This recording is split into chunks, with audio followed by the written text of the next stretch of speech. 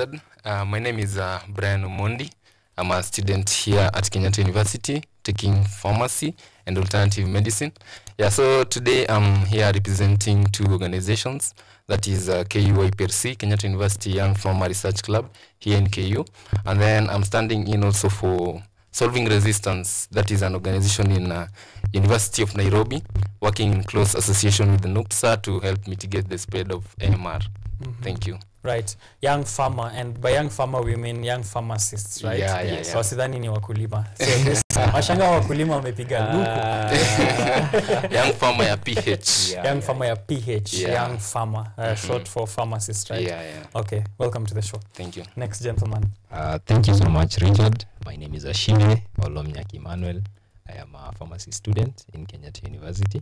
I serve as the chairperson of the Kenyatta University Young Pharma Research Club, and I'm just happy to have uh, you hosting us on this show to create awareness on antimicrobial resistance. So it's a great opportunity, and I'm excited. Excited to have you guys here as well. Thank you very much for creating time and for the activities of last week which we have uh, been able to you know give a bit of FOMO to those who missed out. Images which you can still see on the screen. Uh, what happened during the antimicrobial awareness week happened at uh, Kenyatta University. Maybe you let us in uh, um, a bit there on um, Olomnyak on what happened last week the events of last week how did that go down and what is the outcome of it Uh, thank you so much. Um, so we had a very successful World Antimicrobial Awareness Week, which was marked from 18th to 24th November. And uh, tulimaliza shughuli on Sunday, that is uh, just a few days ago. So starting from Monday last week, we had a few webinar sessions. Uh, we conducted them via Zoom in association with the Tanzania uh, Pharmacy Students Association and uh, the Makerere University Pharmacy Students Association, together with NUPSA and uh, Solving Resistance. Also, we had uh, the Veterinary Medicine uh, Students Association from the University of Nairobi. And all these we did in conjunction with uh, KUIPRC. So on Monday, we had a webinar, and on Tuesday, we had a Twitter session. And then on Wednesday, we had a champions training that is for the people who got dispatched on uh, Friday to go and educate the public about antimicrobial resistance. So Thursday we took a break, and then on uh, Friday we did the actual work which started from the Kenyatta National Hospital uh, through Toy and Kenyatta Markets, and then we ended at uh, the Kenya Medical Training College.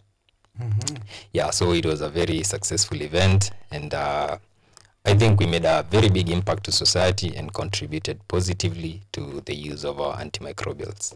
All right. Yes, yes. Anti, the use of our anti, I've been really struggling. With yeah, yeah, yeah. I'm sure yeah. I'd fail orals at. Yeah, it's, it's understandable. It's Yeah. understandable. Very medical terms. Right. Yeah. Anti, antimicrobial Yeah. resistance. Omundi Brian, Yes. welcome to the show once more. Thank you. Um, AMR, antimicrobial resistance, is now being considered a global health threat. Mm -hmm. Why is that so? And we, before we get even to why that's considered a global health threat, is what is what exactly is this word which I'm struggling uh, to pronounce, and I'm sure people at home pia wanashanga, eh, leo biashara Tuesday antimicrobial ni gani tena? Yes, yeah, yes. so antimicrobial resistance. Antimicrobial. yeah, antimicrobial resistance. Yeah, this is where the normal microorganisms that include bacteria, the viruses, the fungi, the parasites now decide to fail to respond to the medications we have. Yeah, making them resistant, uh, making them uh, difficult to treat, and uh, the treatment becomes expensive. They also uh, lead to prolongation of hospital stays. Yeah. Mm, Now we are using a lot of uh, new drugs which are very expensive to try to treat some of these organisms because uh, the normal drugs that we have now cannot be used to treat them. Okay, they're Yeah. taking it as lunch. Yeah, yeah, yeah. Yeah, yeah, yeah, yeah. yeah. in uh, antibiotic. the bacteria says, you know, Yeah, yeah. a scrumptious meal has arrived. Yeah, Resistance. That's how it's, that's how it looks like. Yeah. So we need to create yeah, awareness. new medicine. Yeah, we need to create new medicine mm -hmm. to help us combat this resistance. And uh, if you look at in Kenya, around less than 50% of the Kenyan population are actually aware of the effects of this AMR. So this is something that we need to take part in creating awareness and educating the public. All right. Yeah. So when you're saying the effects, how Mhm. does how do this look like? The effects of uh, this kind of resistance. Yeah, so maybe in, on that, I'll just give a, a, a brief statistic example. Mm. Yeah, if you look at in Kenya, WHO documents that uh, around 1,500 new cases of multi-drug resistant TB. Develop each year. So we detect 1,500 cases of multi-drug resistant TB. Mm. You know, when I say multi-drug resistance, uh, I mean we have this, you have TB and the normal drugs zenye huwa tunatumia kutreat, Mm. they are not functioning. Mm. Yeah. Hazikusaidii. hazikusaidii and then if, if you also look at utis right now around 70% of uh, utis caused by e coli Mhm. they are now resistant to medication Wow. Yeah. and it goes all the way to even causing death in 2019 who documented that around 1.27 million deaths Mhm. occurred worldwide due to amr Mhm. yeah so this is a great challenge that we need to take part to educate the public Right. yeah I was having a look at uh, this um, Emmanuel, Yes, yes. and um, I saw the word superbugs. Yeah. Are they UTIs and whatnot? The Oh, no. superbugs? No, no, no, no, no. Uh, Superbugs. so superbugs are uh, uh, bacteria that have mutated and uh, developed resistance against so many forms Okay. of drugs and uh, they cannot be actually treated. Mhm. An example of the superbug is uh, MRSA. That is a very technical medical term. Mhm. It's uh, methicillin resistant staphylococcus aureus. Wow. And uh, the, f- the furniture almost floated here. it's a spell. yes, yes, yes. We also have CRE, Uh-huh. uh, which is carbapenem resistant uh, enterobacteria. But uh, these things uh, actually don't respond to bacteria and uh, to treatment by yeah, using drugs. So it's a very big challenge, and superbugs need to be addressed Okay. because uh, if they end up spreading, Mhm. uh, tutakuwa na a very big challenge Okay. as the medical professionals, and also the public will suffer. Okay. Yes, yes. So for it to be a superbug, it means it's Yes, completely yes. refused. yeah um, for it to be a superbug haiwezi kuwa haiwezi wezekana ikatibiwa so Mm. yes, yes Was COVID 19 yeah. a superbug? no no not really Oh, oh not really? okay. yeah, yeah, yeah. Uh, that does respond. Yeah. Which was going to be my next question because Okay. you know uh, they said COVID nineteen moved from bats Mm. to um, human beings. yes yes yes Uh, someone ate something in Wuhan, China, yeah or something happened in a lab, Mm. whichever happened. yeah Um, can this uh, move from animals to human beings? yes yes yes Mm. actually uh, we, we go back to food chains Mhm, uh, very many times when it comes to transmission mhm, of uh, many diseases and uh, one example ni antimicrobial resistance mm -hmm. so tukienda back to the food chain we get that uh, tunaweza actually we can actually contract antimicrobial resistance from Mm. animals Okay. e, mtu akikula chakula ambayo e, iko iko na e, the antimicrobial resistant bacteria Mm. anaweza end up kuwa na antimicrobial resistance Okay. yeah, yeah, yeah. and even uh, ukiwa na your pets pale nyumbani they can actually transmit uh, antimicrobial resistance to you Mhm. eh, kwa hivyo tunafaa kuzikeep clean pia and eh, hii ina bring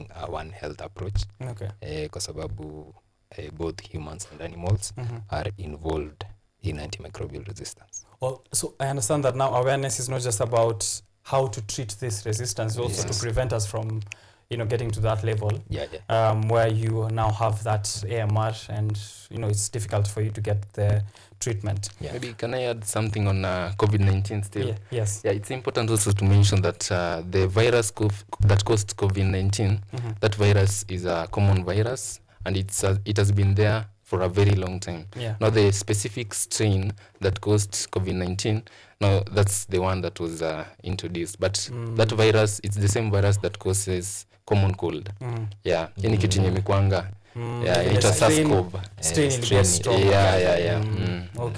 I see. So when we say that you know the bacteria has become resistant, uh, now that you've picked it up, let me uh, Okay, throw sir. this to you. Um, when we say the bacteria has become resistant, right? So which means imekata kutibika. You take your biotics, your antibiotics, your antiviral treatment.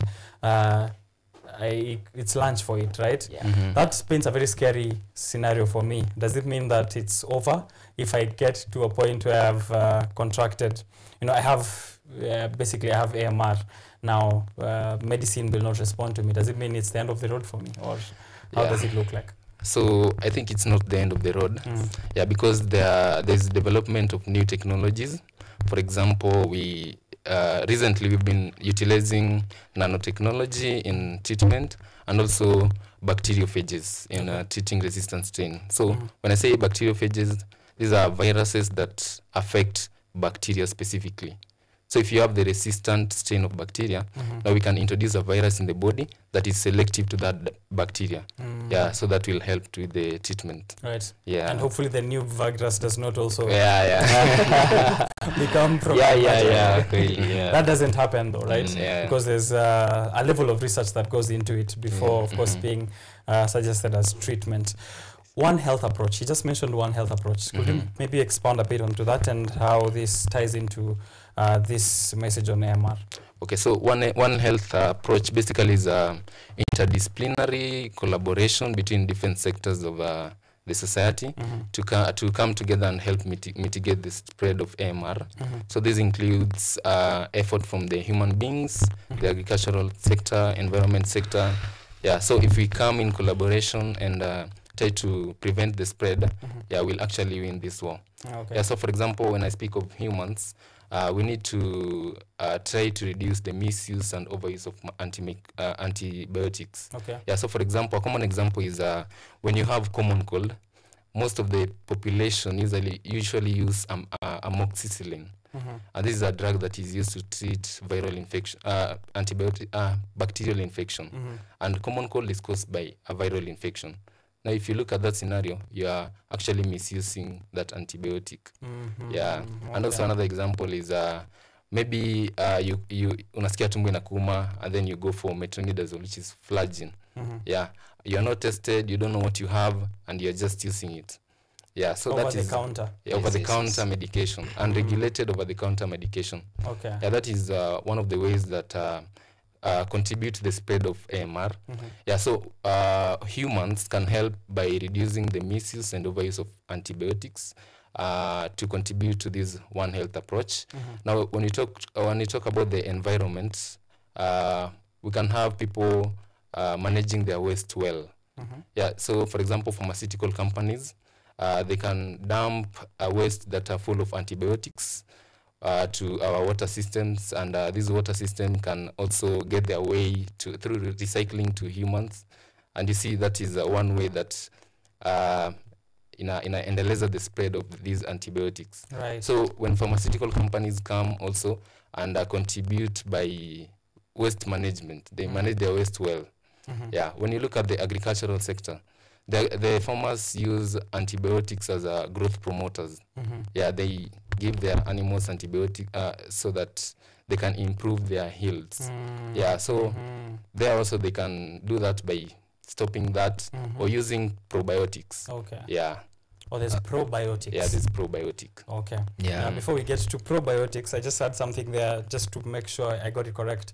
The overuse and misuse of Mhm. antibiotics. So misuse, I understand, which means Mhm. you get medication for umesikia ka headache, and then I get whatever. You just prescribe it for yourself because of what you think uh, the history of treatment looks like or Yeah, yeah. what you've had from someone. Uh, nipatie ni nini tulize tumbo. Um, that is misuse. The overuse, I understand, is you know overindulging in the Yeah. antibiotic So mm -hmm. kila saa kakichwa una pop well, something yeah, exactly. Mm. una pop something does this mean that uh, you know i'm treating the bacteria to a point that iko like ah you know kama ile ya shule unapigwa hadi sasa Eh, yeah, true. Eh, is that the same case Yeah, it's the same case. ah okay when you Oh. overuse antibiotics Mm. you know uh, hizi bacteria they have mechanisms by which these drugs zinaweza kufunction to this bacteria Mhm. now when you overuse these antibiotics now those mechanisms uh, start failing oh Yeah. Nice. okay i see yeah so for example Mhm. uh, the bacteria usually engulfs the drug Mhm. and then the drug ishaingia kwa bacteria sasa hii drug inaweza affect the bacteria Mm. now if you overuse the bacteria can decide to have efflux pumps sasa ina pump out the drug oh yeah nice. so the drug will not function ah, okay yeah, yeah. Hmm, I see. Very interesting. Mhm. Um, things which I didn't get to know in high school. Nilikuwa nasoma parts of an insect. Ah, ulikuwa- there. unachora udidi This is the day that the Lord has made. All right, so we have been also throwing a couple of scientific words. So the, my my main work here as well is to regulate mm -hmm. uh, our use of scientific terms and mm -hmm. also Mhm. try and make people understand Yeah, the yeah. terms that we are using. So we've mentioned antibiotic, antiviral, okay. antimicrobial or bio, Mhm. kizungu ni ya uh, antimicrobial. Uh, let's help us, yeah, uh, Emmanuel, to uh, put the, these things into a structure where someone can understand antibiotic ni gani hizo amerusha tena probiotic. Watu washashangaa hizi ni gani. Kweli kweli. Itakuwa next ni another term which is let's uh, finish that structure and then i move on to a few other questions oh, okay okay. Yeah. thank you so much. Uh, so hizi uh, classes zote the antibiotics the antifungals the antivirals and the antiparasitic agents actually fall under antimicrobial agents. Okay. Eh, kwa hivyo antimicrobials ni antibiotics ni antivirals ni antifungals na ni antiparasitics. Mm. yes yes yes. Kwa zote hivyo- under one family. yes, yes, under the antimicrobials. Okay. Uh, so vitu kama antimicrobials ndo zinatumika kutreat uh, infections that are caused by either bacteria by Mhm. fungi by parasitic infections and by viruses. Okay. Eh, kwa hivyo tukiget specific hapo kwa antivirals ni drugs zenye zinatumika kutreat viral infections. Mm-hmm. kitu kama eh, a very common eh, viral infection ni flu ama the common cold eh, eh, but uh, hii ni one of the major contributing factors to antimicrobial resistance actually Mm-hmm. na ni kwa sababu watu wana misuse vitu kama amoxicillin Mm-hmm. eh, ukiwa na homa haufai kuitibu because whether you do something or you don't homa itaisha eh, homa itaisha within seven days Mhm. So hakuna haja ya kujisumbua Mm. kujaribu kutibu homa when you can just when you wait. can just Yeah. wait for seven days okay yeah ni ile yenye we, we lead very busy lifestyles so mtu ana prefer kupona haraka sema siwezi toka Yeah. kwa hii nyumba na- Eh, and, and yeah, get back to their business. Eh, kwa hivyo it's a major contributing factor and it's very worrying yeah Mm. eh, but then the question becomes why is it sold in the pharmacy if okay you know if i can just wait uh, yeah, yeah, yeah. so hapo hivi uh, why is it sold in the pharmacy? why is it still sold in the first place Uh, so hapo hivi i'll point the failure of uh, the healthcare professionals kwa sababu pia wana contribute mm. in that uh, mtu akikuja hapo hivi si itamuuliza sana anataka amoxicillin aende afanye nini Mm. yeah so the pharmacist and the especially pharmaceutical technologist eh, wana prescribe the drugs anyhowly Mm. eh, without any regulation kwa hivyo that's a major contributing factor okay Yeah, and yeah. also maybe I talked about unregulated. Mm. Mm. Yeah, no, there are no regulations in place mm -hmm. to enable uh, proper selling of these antibiotics. Mm. And also, hizi uh, pharmacists, ama farm techs, hizi machemists those are business people. Yeah. Mm. Yeah, so maybe wana weigh the profit na the, the risks. Mm. Mhm. Wewe unasema umekatwa kidole unaitisha haraka haraka Yeah, yeah. give me my money and, and that's it Yeah. okay is it now you know maybe we'll do that call out to the ministry and the relevant authorities Yeah. a bit later on you know what can be done in terms of policy and regulations to ensure also that we have stricter measures in Yeah. how people are you know accessing this uh, medicine but coming back to you Yes, yes. um, on uh, again prescriptions my antibiotic dose so i've gone to hospital um, i have a uti uh, god forbid Yeah. and then i received my antibiotics okay. Nimefika mali nasikia hey, nishapona Yeah. i no longer feel the pain i don't have the symptoms yeah. nini nini Yeah. um, you know niachie hapo okay. Uh, does it mean kuna bacteria fulani zilikuwa kwa kona zimetulia zinangoja or have i healed? How does this also come into play in uh, you know increasing this resistance if any? Okay uh, to, ha- to tackle that eh, nitaanza na ku remind the audience that uh, you actually have to finish your antibiotic dose. Anytime yenye unapewa antibiotics umeprescribe antibiotics na a medical practitioner ensure that umemaliza your antibiotic dose. Kwa sababu usipo i like to give this example uh, tunapeananga dawa ndo to fight the infection mm. yeah so ukiipea dawa you actually fighting the infection but eh, mtu hata wewe akikupiga you have a tendency to kick back Mm. eh, kwa hivyo uh, inafikanga mahali yenye umehit bacteria umehit bacteria but sasa hujamaliza dose kui Sindio? Eh? Sa imejaa yeah so ina- so ina jam eh? yeah yeah so uje out eh, completely Mm. eh, so venye uliput ni kuna tu bakteria zenye hazijakufa na zenye ziko zimetulia mahali zimetulia mahali hazijafikiwa eh, hazijafikiwa Mm. so if you stop maybe nimekupea amoxicillin for a dose ya 5 days Mhm. na umekunywa and eh, after 3 days umesikia vizuri Mm. so for the t days unaamua e manze kumeza hizi tablets ni a big, ni a big challenge mm. kwa hivyo na eh, chukua yeah, yeah. so ukifanya hivyo uh, kuna hizo bakteria zenye hazijakuwa knocked out na with time zita zita gain back eh, their strength Mm. na zitakuja zikiwa resistant Mhm. to amoxicillin so next time ukikuja i will give you a dose ya 10 days Mm. eh, i will give you a dose ya 10 days ama ni kuongeze more drugs Right. Yeah. I've seen it happen even with uh, especially tuberculosis, yes, where um, yes. I think it's um, yeah an eight month Mm. long Mhm. treatment process. And I've mm. seen a case where a patient um, skipped a couple of days actually. Mm -hmm. They pretended to have pre- to have uh, completed the whole treatment. yes, yes. But kumbe in the sixth, fifth month, they had Mhm. skipped a week. yeah So wakafika mwisho checked by the doctor and told, I know you didn't really, uh, you know, do all your meds if you're being honest. yes, yes. Um, but we now have to do this again for six Mhm. months. Mm. So another prescription for another six months. And I think those are the effects which people should be aware of. Yeah. Uh, if you're not completing your dosage, you're only lengthening um, the treatment process, which uh, becomes a bit difficult again in handling. Um, someone natoma anakaa hivi anauliza Mhm. au scientist wenu si watengeneze drug ingine against that? Ah, ah, yeah, yeah, just yeah, yeah, yeah. few new pills against that resistance, treat the resistance, Okay. antibiotics. Why? Um, How's that hard or easy? it's very difficult Uh-huh. nilipenda when you introduced the show and you actually mentioned that uh, it was the fortunes events za alexander fleming pale kwa laboratory yake zenye Mhm. zilifanya kuwe na what i like to regard as the greatest magic Yeah. uh, in medicine Eh, and that is uh, the development of the first antibiotic that was Mm. penicillin Mm.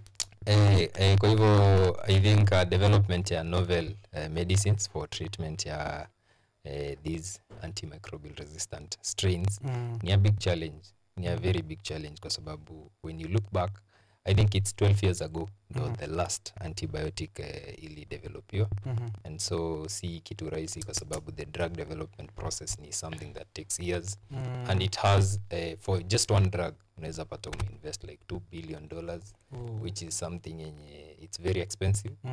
-hmm. uh, kwa hivyo uh, people tend to ama the sponsors wana tend to go for short term projects Mm. eh, mtu anataka tu kitu yenye inaweza developiwa haraka so that they can make uh, profits Mm. eh, kwa hivyo hii ni kitu yenye ina contributiwa na so many factors, so many factors yeah, yeah, including yeah.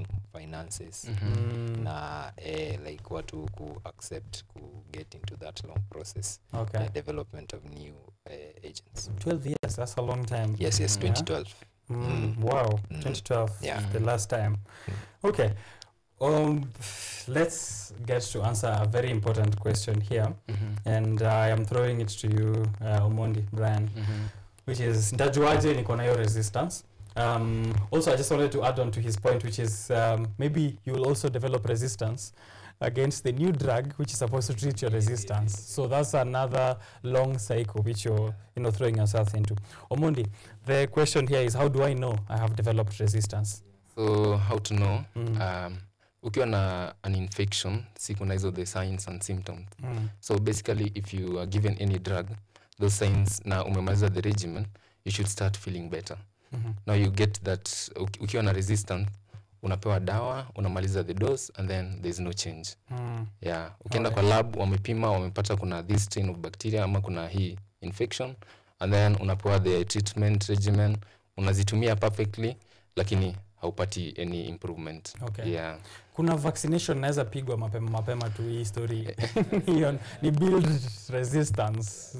Vaccination kuna vaccination for some but not all. Okay. Yeah. All right. So for example ukiangalia mostly vaccination tunatumia for viruses. Mm -hmm. the hepatitis kuna vaccination hepatitis b and then kuna pia vaccination ya human papilloma Mm. virus. Hiyo ni yenye na cause cervical cancer. Mm. yeah so vaccination mostly ziko but for uh, anti for bacteria oh, i don't think kama ziko mingi hivyo yeah Mm. than the viruses All right. I'm now going to read a couple of uh, messages which you've received online, and then I come back to you to just answer one last question each and a parting shot for the same to just build up that awareness. But I had one question before I read the feedback. Uh, this is from me and my team, which is on the ear hapa. Um, wanasema na nikifinyafinya malemon ma, ma, ma herbs niekelee mahali hivi nijifunike na blanketi 18 hours straight Yes, yes. resistor hakuna kitu. Mhm. Is that something that can work? Any of you who can handle Yeah, that? so me I think um, mostly ni kama uko na homa Eh, kama uko na homa na uko na an alternative ni usitumie anti, usitumie antibiotic ah, yeah. mm, itakuwa missing antibiotic. Okay. yeah But so sijui niko na hiv na ni- oh, ah, hiyo hiyo iko advised. That cannot work. yeah, that cannot work. Okay, hakuna remedies online zenye zinaweza replace natural remedies. That can replace over the counter. But ziko in development. Ukiangalia sahii pharmacognosy kuna research yenye imekuwa imepelekwa pharmacognosy. And uh, very soon hadi ukiangalia the more drugs uh, drugs zenye tuko nazo zimetoka from plants. Okay. yeah so maybe the problem with the natural regimen ni hakuna standardization. So we can't actually know and we can't tell the right dose you should take. Yeah. but ukiangalia these drugs zenye tuko nayo some of them this uh, the active ingredient imetoka from plants. Yeah. Okay. yeah Reading that feedback, coming back, the one question that I want each of you to answer uh, for Olmanyak, it's um, what will happen if you know this continues to be a rising case into the future? Uh, resistance in black will build up, so that we also paint a picture, and then you can give a parting shot on awareness, and then for Omoni brand, we'll handle any positive uh, technological advancements or in research, um, including maybe what you're doing at the club. I think at that point you can also uh, you know tell other university students on what your club is about and uh, if that's something that's open for them to come and take a part in. I'm sure I love the research aspect, Mhm. which you can also speak of. Uh, you have a bit uh, like two minutes each Mhm. uh, for that. So let me read the feedback as I come back. Uh, Pale online, KUTV Kenya, we're streaming KUTV station on Facebook, KUTV Kenya live on YouTube, and then you can tag me and the station as well on social platforms. Kampo, Kampoke. Kampoke anasema watching live from KNH. I hope you are not a patient and you are providing treatment at KNH. Uh, but uh, thank you for tuning in from KNH. Watu ndani wote. Uh, tuko ndani Roisa. Vamos Ashire ni Solitei anasema ameweka fire emojis tano hapo. Uh, shout out to Ashire on set. Isaac Ogutu, shout out to Brian Omondi, the young brilliant mind and great pharmaceutical researcher. Medical lab, as medical lab technologist with ardent interest in mitigation of AMR, I encourage such talks. Big up Okenye. Thank you, Isaac Ogutu, for tuning in there. And uh, I know this is a conversation you've enjoyed if you're a, a medical lab technologist. Samuel Juma, Bigman Bazu, Ashire, and Umondi, shout out to you guys. That's from Samuel Juma. I'm gonna pick a shout out. Nijulishe TV live from KMKU. Huyo msee wa Baltimore niko mwambie niko KM na inama. Um, Dominic watching us all the way from Baltimore. Uh, tumia watu za cabbage. Uh, Waambie wa paste uweke za cabbage. Wanainama huko KM bro. acha. Saidia of course. Thank you for the feedback. Uh, continue sending it. We'll read it after, of course, we close this conversation. Um, yes, let's begin here. What happens? yeah so to close the conversation Yes. uh, kwanza asante sana thank you for having us here so uh, the long term effect yeah the misuse of antibiotics and uh, antimicrobial resistance ni will have venye uli mention a very long term treatment yenye ya the uh, diseases zenye zinakosiwa na these uh, parasites fungis and viruses eh, kwa hivyo ni kujiumiza and uh, statistics. Always uh, we always go back to statistics.